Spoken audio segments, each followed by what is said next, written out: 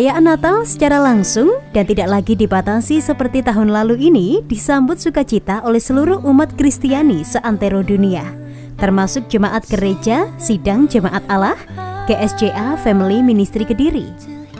Sugito, salah satu jemaat mengatakan bisa merayakan secara langsung meski dengan penerapan protokol kesehatan bisa lebih menambah sukacita.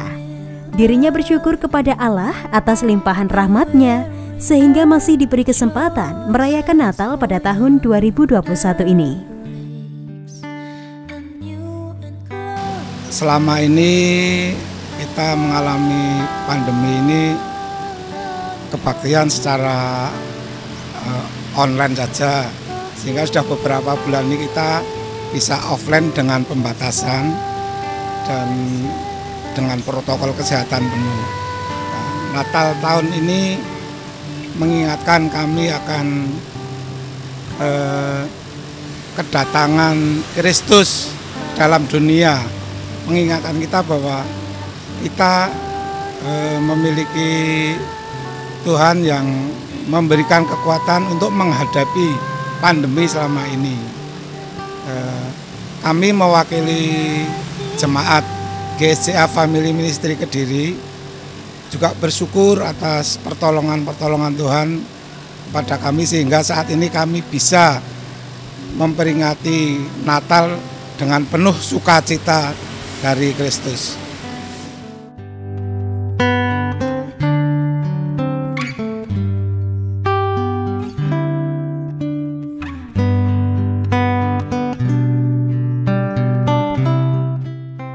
Ibadah dan perayaan Natal Gereja Sidang Jemaat Allah GSJA Family Ministry Kediri tahun ini dinilai lebih meriah jika dibandingkan tahun sebelumnya. Terbukti dari antusias seluruh jemaat yang begitu tinggi.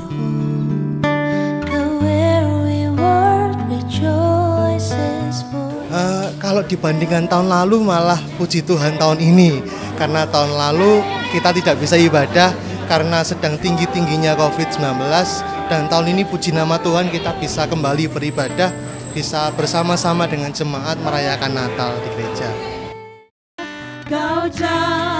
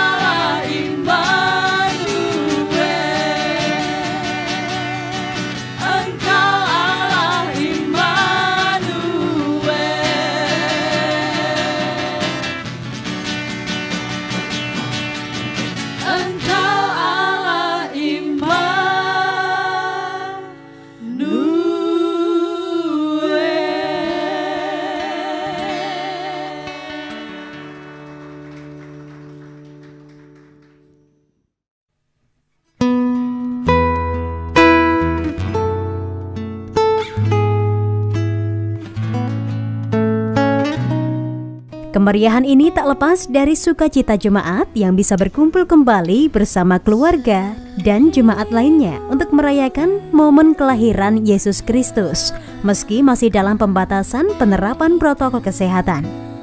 Namun demikian, sukacita ini terus terkenang dan menjadi kebahagiaan bagi seluruh jemaat GSJA Family Ministry Kediri.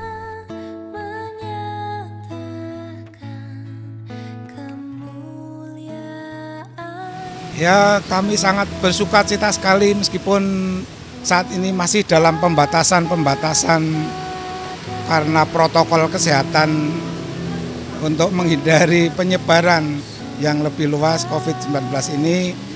Tapi kami merasa senang, kami merasa sangat sukacita sekali di mana kami bisa berkumpul kembali bersama anggota keluarga jemaat GSCA Family Ministry Kediri di Natal tahun ini. Pemirsa ibadah dan perayaan Natal 2021 Gereja Sidang Jemaat Allah GSJA Family Ministry Kediri terasa begitu hikmat tatkala lagu Malam Kudus dilantunkan. Selama dua abad terakhir, lagu Malam Kudus telah menjadi fenomena budaya. Kidung Natal penting dalam budaya di seluruh dunia. Lagu ini telah diterjemahkan ke lebih dari 300 bahasa dan dialek, termasuk Latin dan bahasa Indonesia. Dan pada tahun 2011 ditambahkan ke daftar warisan budaya tak benda oleh UNESCO.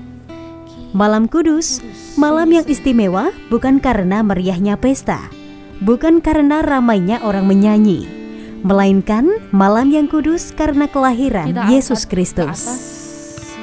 Malam kudus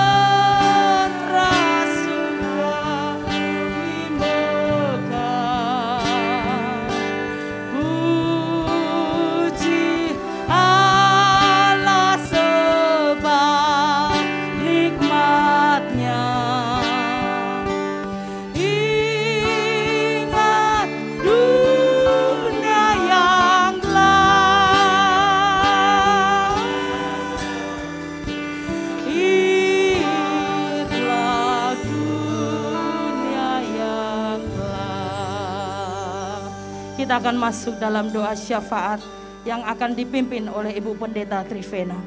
Tidak ada kata yang dapat kami sampaikan pagi hari ini, kecuali kami bersyukur kepada Tuhan.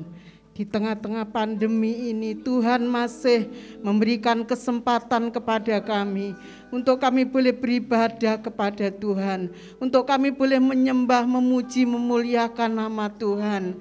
Pagi hari ini Tuhan kami satukan iman dan hati kami. Kami berdoa Tuhan buat negeri kami. Kami berdoa buat pemimpin-pemimpin kami. Mulai dari presiden, para menteri, bahkan Tuhan sampai gubernur, wali kota, bupati, camat, bahkan sampai pemerintahan yang terendah RT RW. Kami serahkan mereka semuanya ke dalam tangan Tuhan. Biarlah Tuhan kau memberikan hikmat kepada mereka agar mereka dapat memimpin negeri ini dengan takut akan Engkau, dengan hikmat yang dari Engkau, agar dapat membawa bangsa ini semakin baik, semakin sejahtera oleh karena pertolongan Tuhan. Khusus kami berdoa Tuhan buat kota kami Kediri. Kami menyerahkannya ke dalam tangan Tuhan. Biarlah Tuhan yang akan terus memberkati kota kami. Tuhan kami berdoa khusus pada pagi hari untuk gereja-gerejamu di seluruh Indonesia. Khususnya di kota kami Kediri. Biarlah Tuhan terus akan tambahkan bilangan jiwa-jiwa baru.